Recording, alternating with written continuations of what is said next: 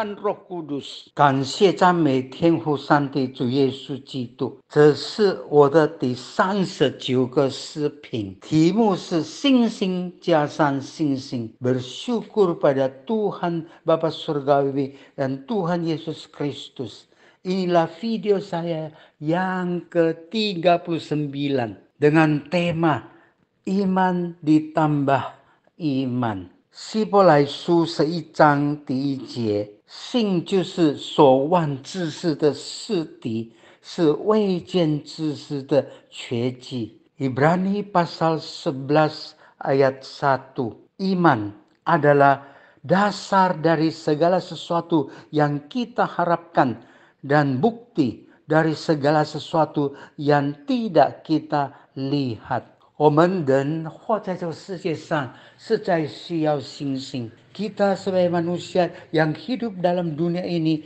kita sungguh perlu beriman。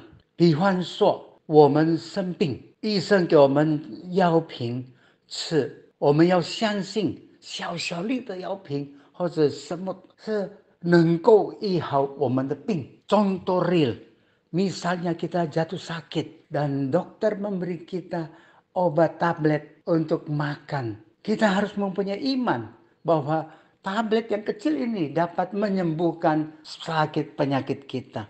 Hayu, 我们要到某一个地方一个城市去，dan satu hal lagi kita mau ke tempat di satu kota，我们坐乘坐飞机，kita menaiki pesawat terbang，我们都不知道 我们只是上去，我们凭信心上去买飞机票上去，我们就做了飞行员带我们，我们相信他带我们到那个城市去。Kita kan tidak dapat menyetir membawa pesawat terbang itu.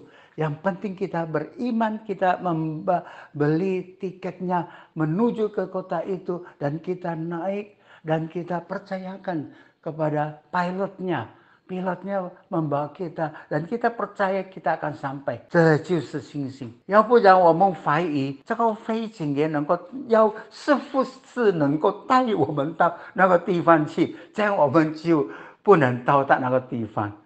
Jikalau kita memiliki keraguan-raguan, kebimbangan, kita bertanya-tanya apakah pilot ini dapat membawa saya ke tempat itu.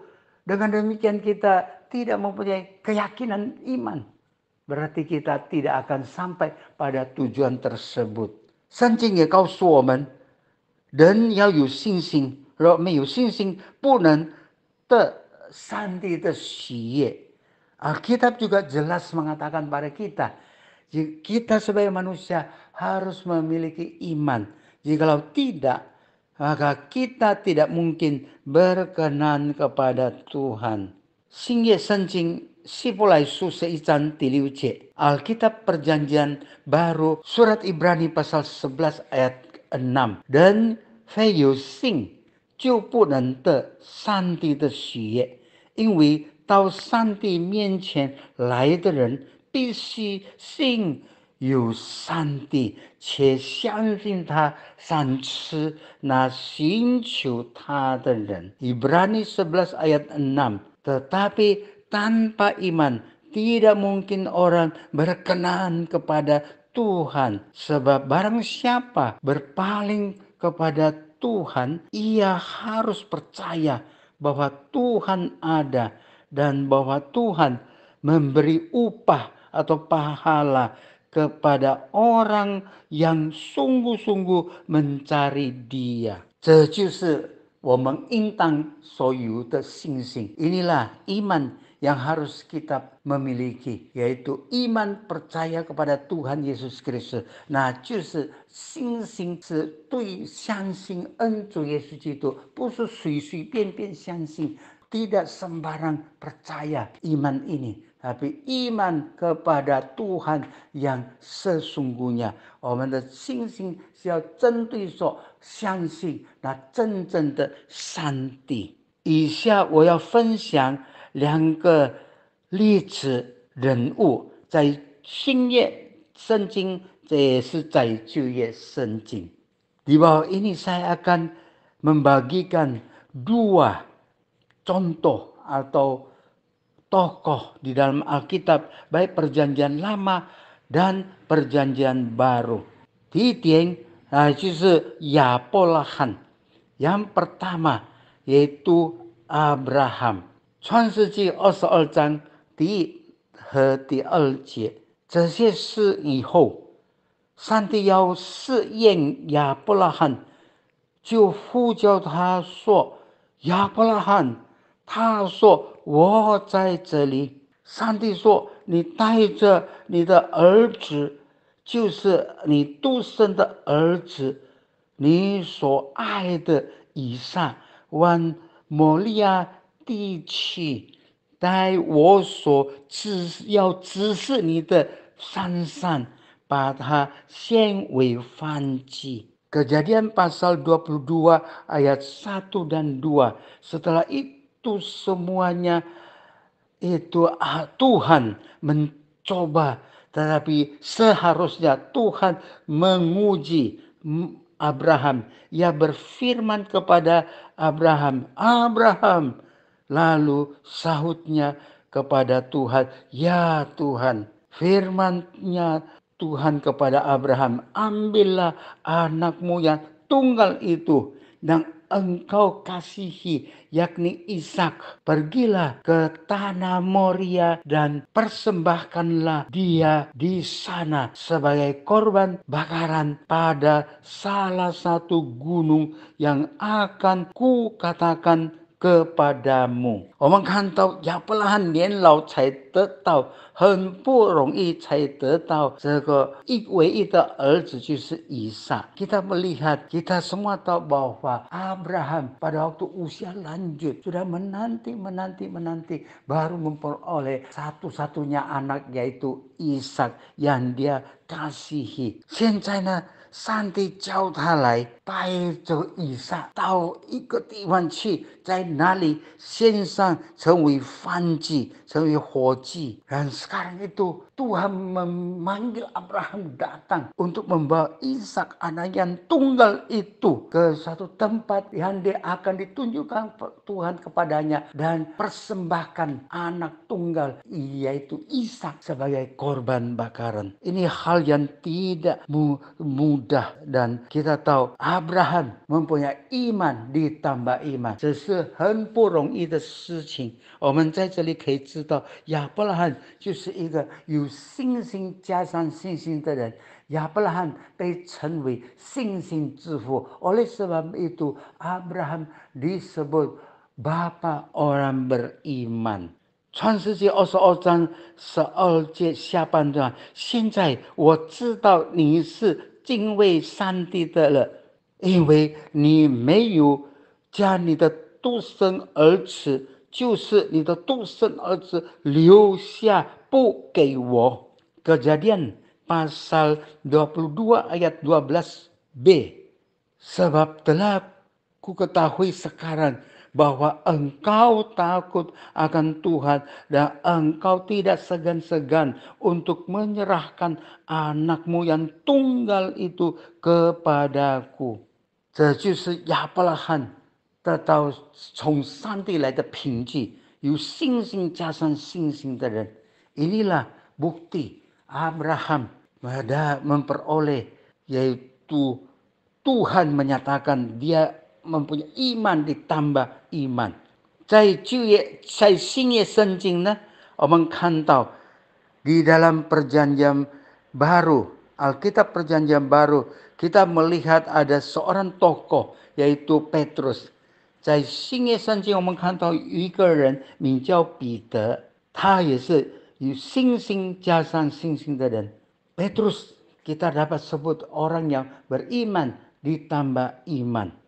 使徒行传十二章四至六节，希利拿了彼得收在监里，教父四班兵丁看守，每班四个人，意思要在夜间后把他提出来，当着百姓面前帮他。于是彼得被囚在监里。教会却为他确切的祷告上帝。系列将要提出彼得出来的前一夜，彼得被两条铁链锁着，所以在两个兵丁当中，看守的人也在门外。看守. Kisah para Rasul pasal 12 ayat 6 hingga 4. Setelah Petrus ditangkap, Herodes menyuruh menja uh, men menjarakannya di bawah penjara dan penjagaan empat regu masing-masing terdiri dari empat prajurit. Maksudnya ialah supaya sehabis pasca ia menghadapkannya ke hadapan orang banyak. Demikianlah Petrus ditahan di dalam penjara, tetapi jemaat dengan tekun mendoakan Petrus kepada Tuhan. Pada malam sebelum Herodes hendak menghadapkan pada orang banyak, Petrus tidur di antara dua orang prajurit terbelenggu dengan dua rantai. Selain itu, prajurit-prajurit pengawal sedang berkawal di muka pintu.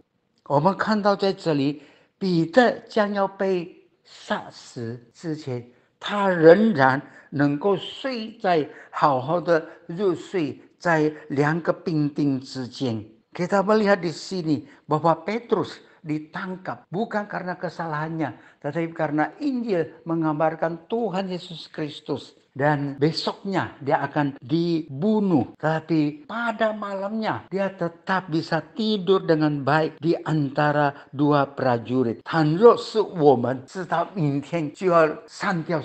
Misalnya kita, kita tahu wah, besoknya kita akan kehilangan nyawa. Mungkin semalaman kita tidak dapat tidur dengan baik. Kita terus berpikir bergumul bagaimana bagaimana menghadapinya. Oh, man, 他就知道要离开世界了，我们的命要被带走了，我们可能一整夜不能睡觉，不能好好的入睡睡眠，因为我们在那里都在那里思想很多的挂虑等等。让我们同心祷告，Marilah kita bersahati berdoa。亲爱的天父上帝，求你帮助我们，Tuhan Bapa Surgawi, tolonglah setiap kami，叫我们。每一个人相信你的人，我们有信心要加上信心。Tolonglah supaya kami, supaya kami diberi iman, ditambah iman. Sehingga kami tidak gentar menghadapi kematian dan maut. 使我们面对死亡和这一些威胁。 我们不至于动摇，不至于恐惧战惊，supaya dalam menghadapi semua ancaman kematian maut ini kami tidak kehilangan iman dan kami tidak gentar dan kami tidak hilang pengharapan。我们如此感恩祷告，是奉靠恩主耶稣基督荣耀伟大奇妙全能得胜的生命求的，阿门。Demikian kami bersyukur dan berdoa bersandar nama Tuhan Yesus Kristus yang kudus, mulia, agung, ajaib, maha kuasa dan berkemenangan. Amin.